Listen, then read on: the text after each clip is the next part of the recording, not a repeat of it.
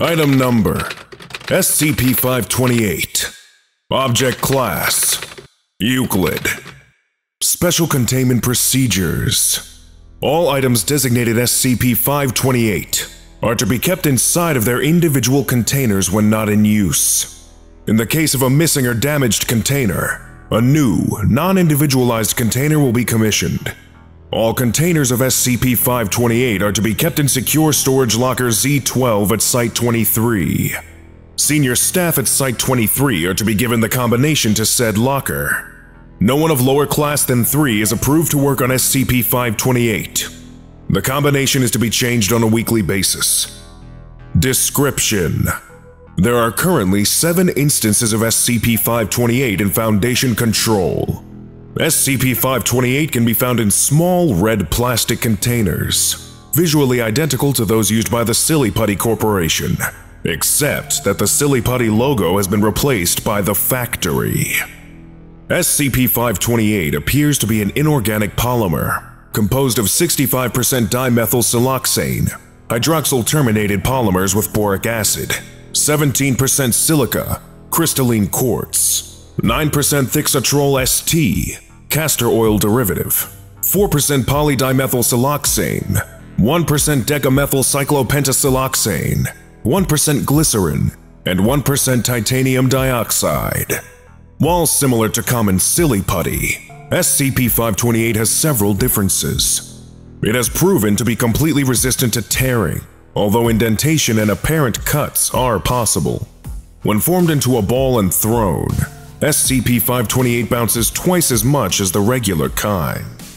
The main difference, however, is that SCP-528 is capable of copying any picture of a human being it is pressed upon, no matter if ink is involved.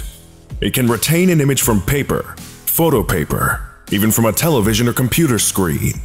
Once an image has been placed on SCP-528, the only ways to remove it are to crumple SCP-528 into a ball, or to apply rubbing alcohol.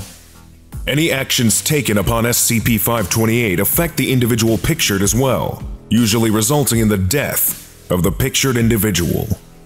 Test 1 SCP-528 applied to picture of D-528-1. Pressure applied to SCP-528, causing the image's arm to stretch. D-528-1 screamed in pain. His own arm stretching one inch per centimeter the image was stretched. Detailed x-rays reveal bones and flesh of D-528-1 to have been data expunged. At approximately 5 inches stretching of SCP-528, a gap formed in the image. D-528-1's arm came off at the same place, bloodlessly. Further testing revealed that while D-528-1 was still affected by SCP-528, his arm no longer was. Test 2 SCP-528, still bearing the image of D-528-1, is doused in rubbing alcohol in attempt to remove image. As alcohol is applied to parts of the image, analogous parts on D528-1 vanish. When the torso is wiped away, D528-1 ceases life functions. At this point, SCP-528 ceases to apply to D528-1 and is cleaned with no further incidents.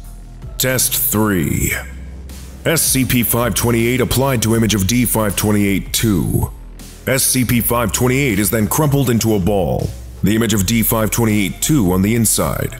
D528-2 is condensed into a ball as well. However, his bones do not break, and subject continues to scream until his head is rolled into his abdomen. At this point, it is believed subject suffocates, as SCP-528 stops applying to D528-2. When unrolled flat, image of D582-2 is no longer visible on SCP-528.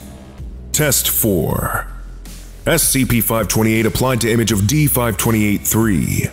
SCP-528 is then immersed in boiling water. D528-3 begins to complain of the heat. After approximately 5 minutes, the image of D528-3 on SCP-528 begins to run. D528-3 begins to scream as he melts. flesh and bone both sagging equally. Testing is concluded when his nose melts over his mouth, blocking his breathing and leading to his suffocation. Note Although clothes are duplicated in the transference of ink, they are not affected by SCP 528 in any way. Lesson complete. If you missed the previous orientation, go watch SCP 527, Mr. Fish, right now. Or for the complete course, watch this playlist.